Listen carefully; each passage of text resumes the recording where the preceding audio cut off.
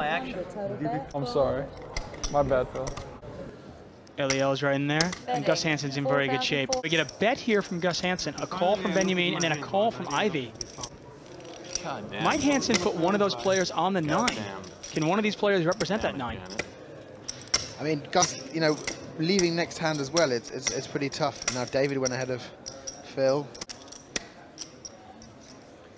And he bets $11,100. You might not even find out if someone has a nine there. Could open something like a seven of hearts. What is it? 11 1? 11-1.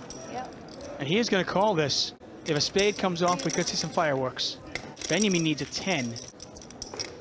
Oh, that's a beautiful, beautiful card if you're Hansen. Pretty sure now you're probably have the best hand. Check. And he's going to check it, and I like the Check. check. Check. Induce that bluff, but everybody's going to check behind him. Yeah. And uh, Hansen's going to take a big pot down. And we hear this is his last hand, so it's a nice way to go out.